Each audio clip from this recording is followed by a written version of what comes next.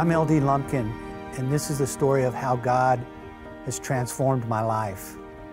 There was a time back in the day that I was obsessed and dominated by sex, drugs, and rock and roll. I was living in Texas and I was playing in rock bands and I was traveling and I was doing all the goofy stuff that young musicians without a compass do and uh, doing drugs and all of that stuff.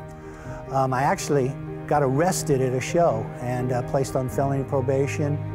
My drug habit became an addiction uh, that was out of control. Uh, I started selling drugs and manufacturing drugs to sort of pay my habit and pay my legal fees. It got bad enough that uh, the judge, who had given me multiple chances, had told me that he was going to uh, send me to prison for 10 years. And on the morning that I was getting ready to be sentenced for 10 years for all of these crimes and fel uh, felonies, I surrendered to God. I said, God, I'm, I know I'm going to prison. I deserve to be in prison. Um, just be with me wherever I go. And in that moment, somehow, God reached his hand into that mess that was my life and rescued me. I ended up going to rehab uh, again. And I came out, and this time I did the things that was suggested. I went to 12 step meetings, I went back to college, I got a degree in clinical social work, and I started counseling people. In 1995, I came to Lake Havasu to start a drug treatment program at the hospital.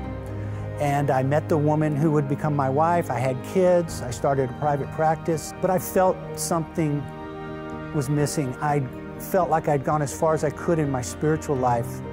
Uh, so we started going to churches.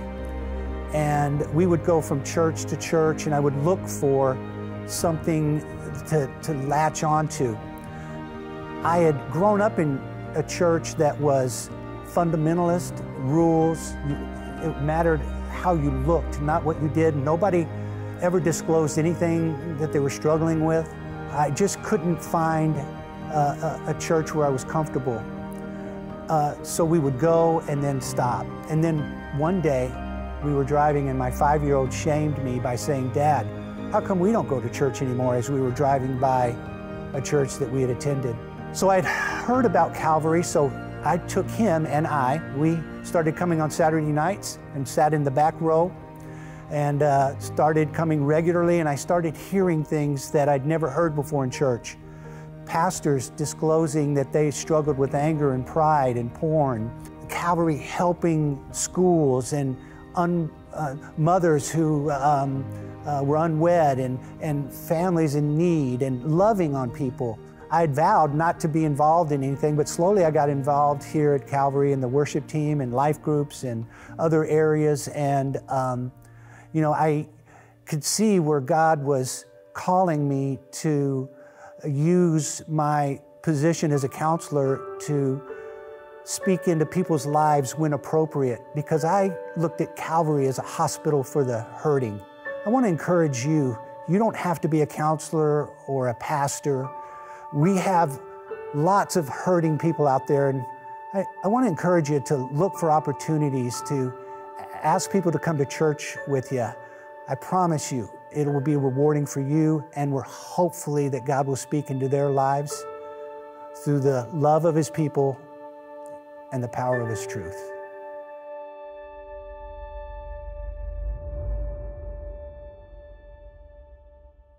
Well, what a what an awesome, awesome testimony about how God is going to put somebody in the worship band, whether they say no or not.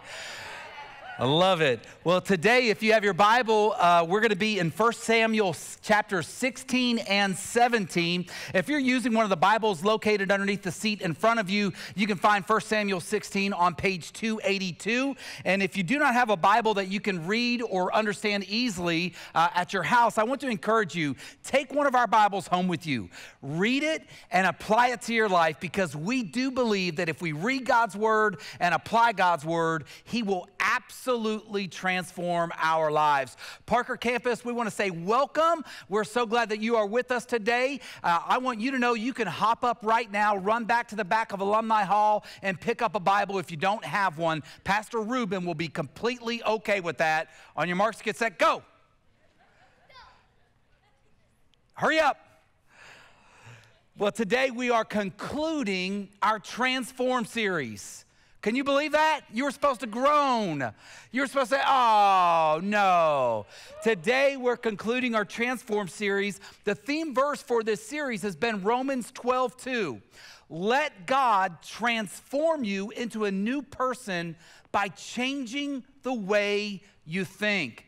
And we focused on our lives spiritually and mentally and physically and emotionally. We've looked at many different areas of our lives. And if we were to sum up our workbook, if we were to sum up the challenges from the sermons, you would have over 100 changes to make in your life.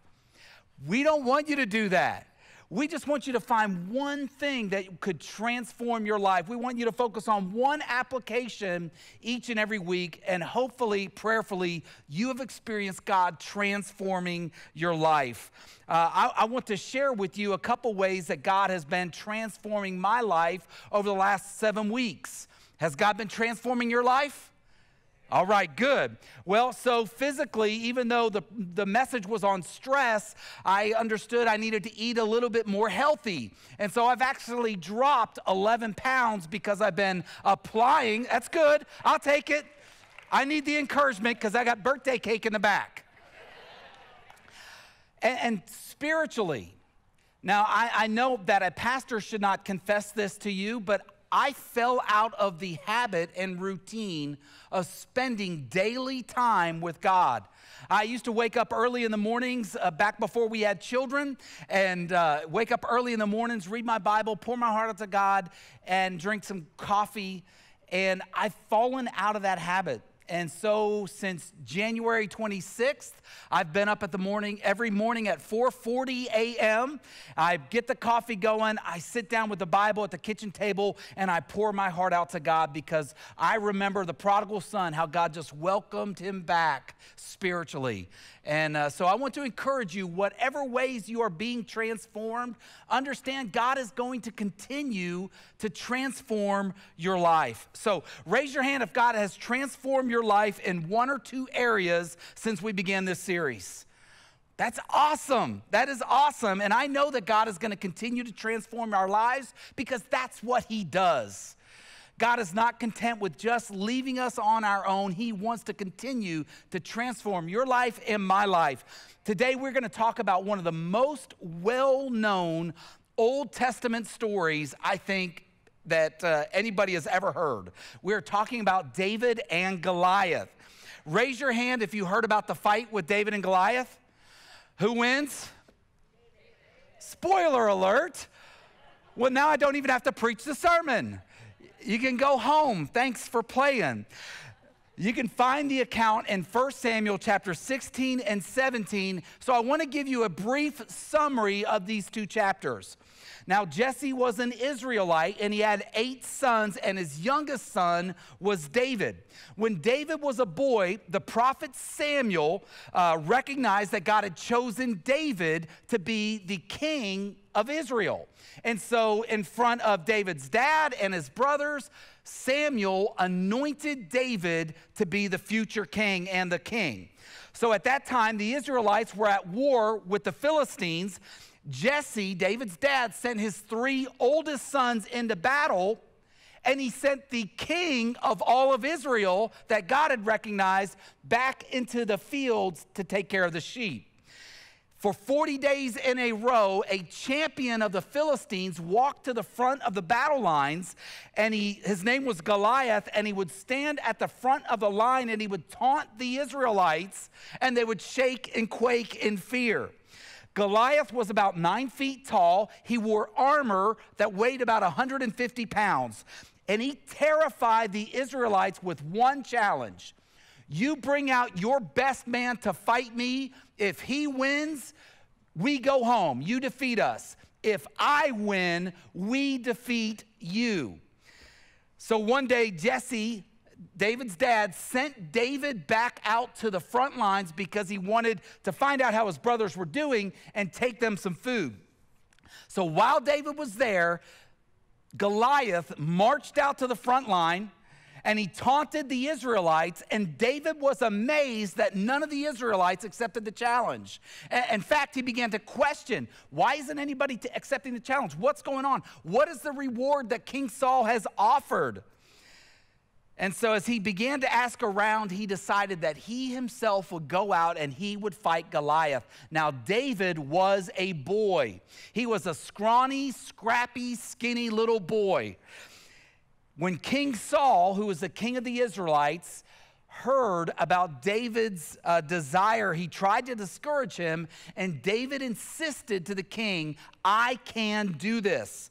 So Saul gave him his personal armor. He put it on that little boy, and it was too big for him. It weighed him down. He gave him a sword, he gave him a shield. It was too heavy for him. So David dropped it down and said, I don't need this. He went out, found uh, five stones, put them in his sling, and went out to fight Goliath. He spun the sling around. He hit uh, Goliath right in the head with a rock. Uh, Goliath fell down. David grabbed Goliath's sword, ran over, chopped off his head, and there was much rejoicing by the Israelites. That's the end. So there's the spoiler, right? In case you were sitting on the edge of your seat and you didn't know what happened, there is the story. Now, most of us, as we think about how this applies to our life, most of us have hopes and dreams that other people tell us can never happen. Uh, maybe it could be at work. Maybe you've got an idea that if your boss would just implement, it would revolutionize the world. Maybe you have incredible dreams about your future.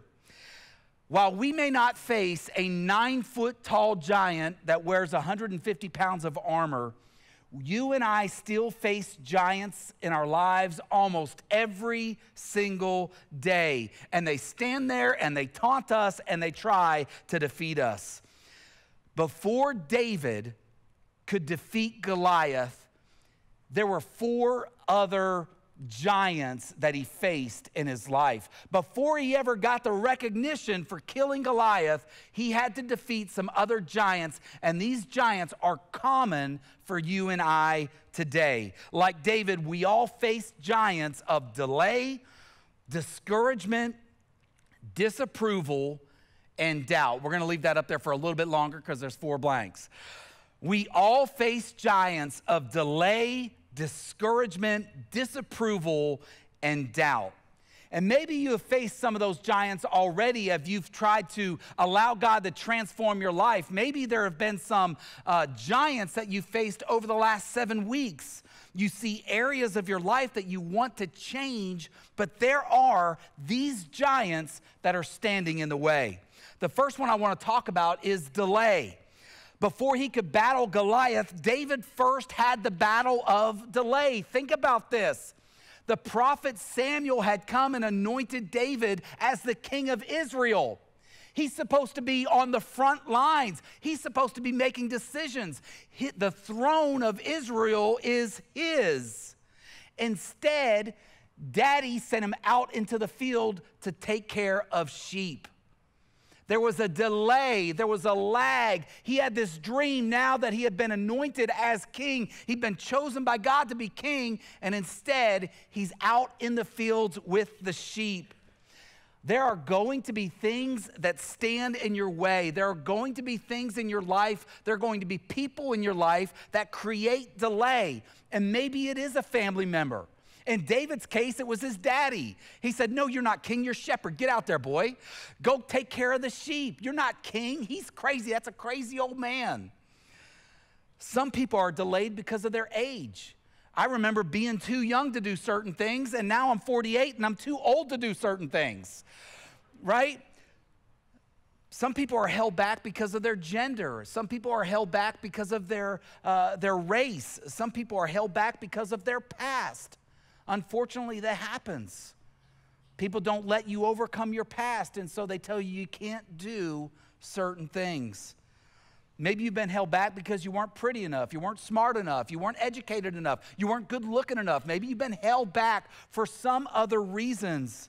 And the sad truth is, like in David's case, it's sometimes the people that have held you back the most from pursuing your dreams and pursuing those God sized goals that He has put in front of you.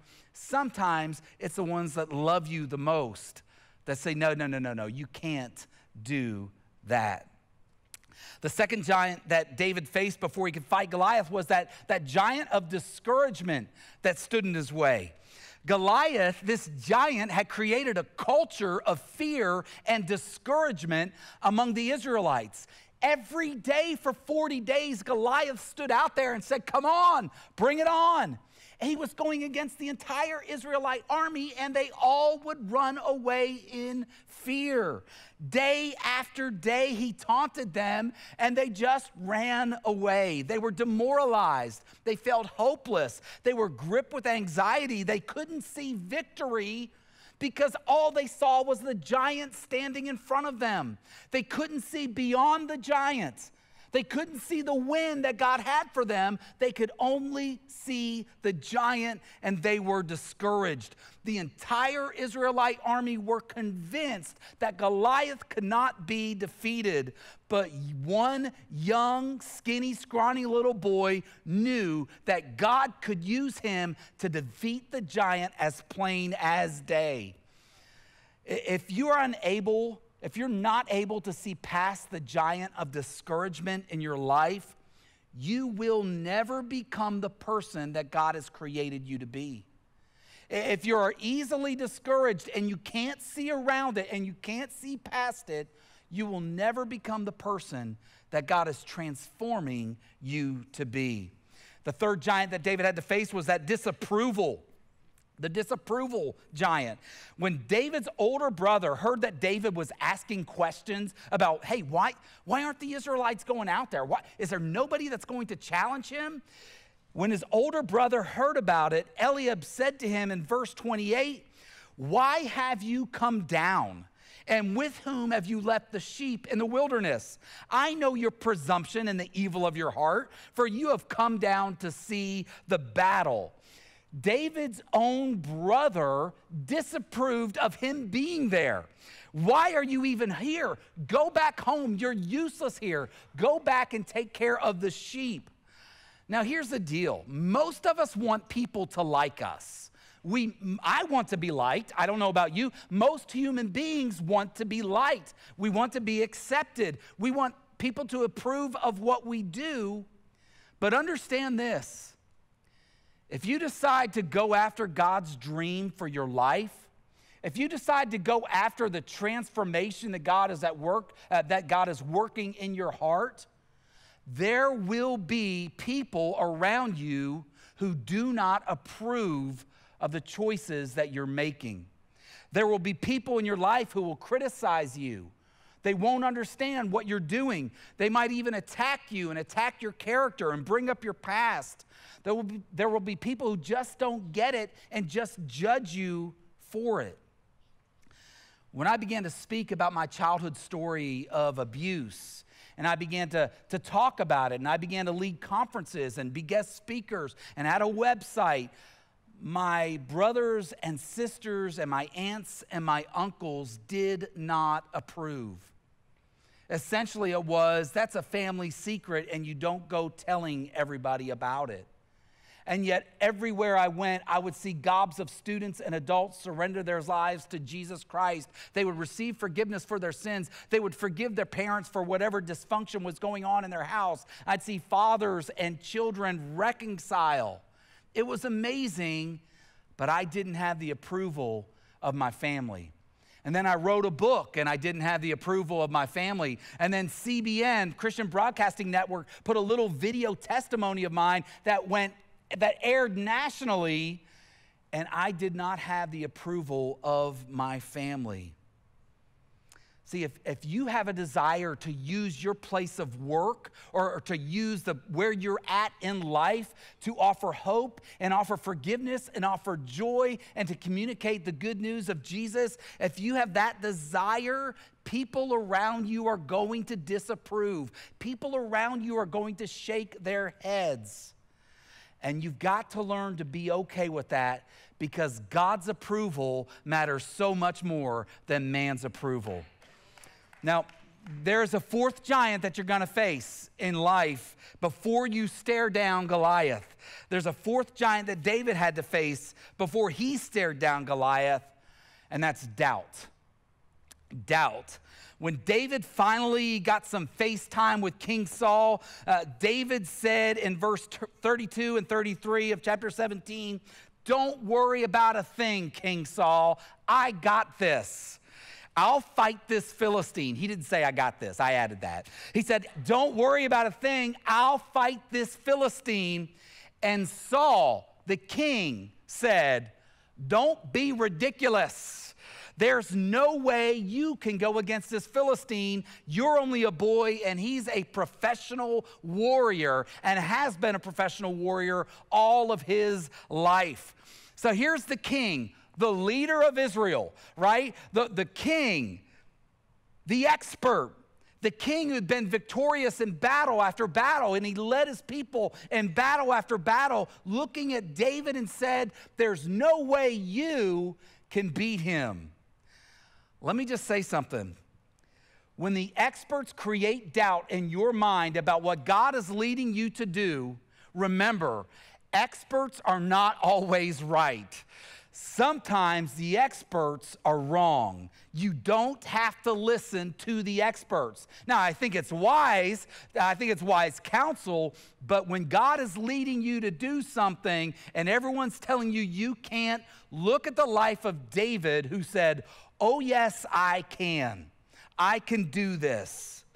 So, how do you defeat giants that are keeping you from becoming the person of God that He's transforming you to be? How do you reach those dreams? How do you reach those God sized goals in life and work? How do you overcome delay? Well, really, you can't, can you? How do you overcome uh, discouragement? How do you overcome disapproval of others? How do you overcome doubt? Well, you do four things. First, Remind yourself of God's help in the past. Remind yourself of God's help in the past. In verses 36 and 37, uh, Saul doubted David's ability, uh, David's ability to beat Goliath, and he said, You're just a little boy. Uh, sorry, that was in verse 32 and 33. And then in 34 through 37, David said to Saul, your servant used to keep sheep for his father, meaning me, and when there came a lion or a bear and took a lamb from the flock, I went after that lion or bear and struck him and delivered it out of his mouth. And if he rose up against me, I caught him by his beard and I struck him and I killed him. He said, Your servant has struck down both lions and bears, and this uncircumcised Philistine shall be like one of them for he has defied the armies of the living God. And David said, The Lord who delivered me from the paw of the lion and from the paw of the bear will deliver me from the hand of this Philistine. I love the courage that David demonstrated here. Remember who he was. He was a boy and yet he's standing before the king, putting his faith in God, and he's saying, I will go defeat that Philistine. God has helped me in the past. I grabbed that lion, I grabbed that bear, I clubbed it to death, and I'm going to do the same to Goliath. I love that. Let me ask you a question. Metaphorically speaking, do you remember a time when you had to grab a lion or a bear by the jaw and club it to death?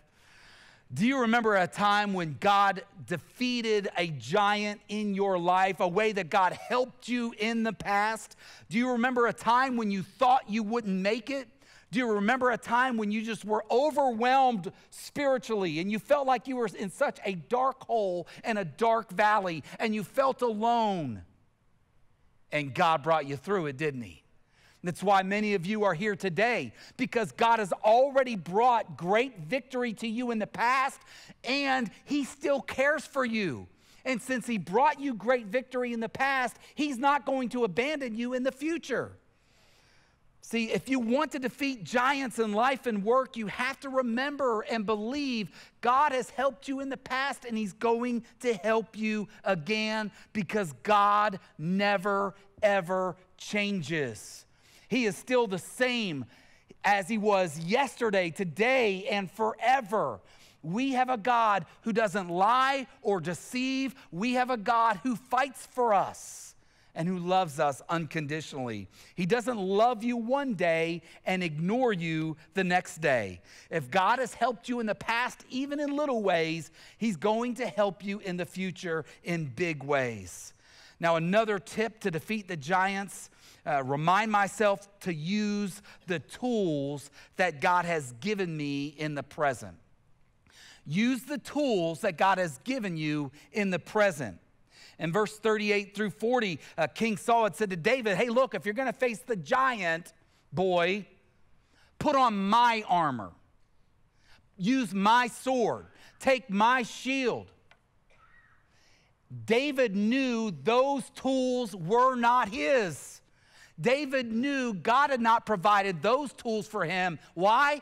Because he put them on and he couldn't move around in them. He put them on and they confined him. He knew there was no way he would be able to fight the giant using somebody else's tools. So he looked around and he found five smooth stones and he put them in his sling and he went out and he took care of the giant. Now, sometimes when God gives us a dream or God gives us a goal or God gives us this idea, this epiphany, this moment where we say, Yes, that is exactly what God wants to do in my life, sometimes we immediately identify the things that we don't have to do it. I don't have enough money, God. I don't have enough education. I don't have enough connections. I don't have enough opportunities. I don't have this. I don't have that. And if you're going to chase those God sized dreams that God has given you, you cannot wait for something you don't have. If you wait for perfect conditions, you will never get started in walking by faith. That's what faith is. Faith is the evidence of things not yet seen. When God bursts an idea, when God leads you to be transformed in an area, take that step of faith. You don't know where you're going. You don't know if you have the tools, but you have the Creator God on your side. Never say, someday I'll get started on it, because someday is never, ever going to come. Today is the day to get started on transforming your life if you've not yet done that. Today is a day to come down at the close of our service and surrender your life over to Jesus by talking through one of our prayer team. Today is the day to begin that journey of faith. Don't wait. Be obedient and do what God has given to you. Third, ignore the dream busters. Ignore the dream busters. Years later, David was the recognized king of Israel. Years later, he's an adult. Years later, he's married, he has wives, and he has children. Years later, he's leading his army, and another army invaded their land and burned down houses while the Israelite army wasn't there. And they carried off their wives and they carried off their children. The soldiers that followed David at that point became bitter. They got upset. Their wives are dead their children are dead or carried off into captivity, and David had led them somewhere else. They got bitter in their hearts and they began to talk about stoning David. And the Bible says in 1 Samuel 30, verse 6, that when others were speaking against him, David encouraged himself in the Lord. Isn't it interesting what David, in moments when he needed encouragement, that he received none? David's going to take on the giant, and everybody else is scared to death to take him on. He didn't get any encouragement from anybody. His daddy didn't encourage him. His mama didn't encourage him. His brothers didn't encourage him. The Israelite army didn't encourage him. King Saul didn't encourage him.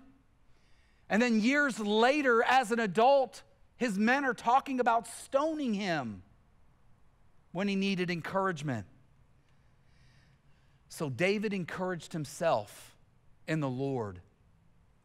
If you're going to go after your dream at work, if you're going to go after your dream in life, you have to learn how to encourage yourself because sometimes nobody else is going to be standing around you encouraging you.